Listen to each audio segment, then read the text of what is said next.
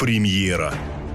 То, что уже произошло, невозможно повернуть вспять. Что за фигня такая? Здесь нужен анализ специалиста. Вы не хотели бы присоединиться к моим исследованиям? Вы говорите серьезно? Серьезнее не бывает. Будь осторожнее со временем, иначе можешь угодить в его сети. Тут что происходит? Ты что, кино что снимать?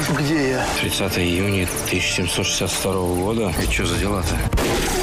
Тому, кто попал в ловушку времени, будет сложно возвратиться назад. Может, пристрелим их просто? Что за грамотка у тебя такая? Карта сокровищ. Что, кино снимаем? Руки вверх. И только тот, кто разгадает все загадки, сумеет вернуться домой. 1942 год. Это путешествие во времени. Тимофей Каратаев и Антон Шурцов в многосерийном фильме «Временщик» с понедельника на ТВ Рус.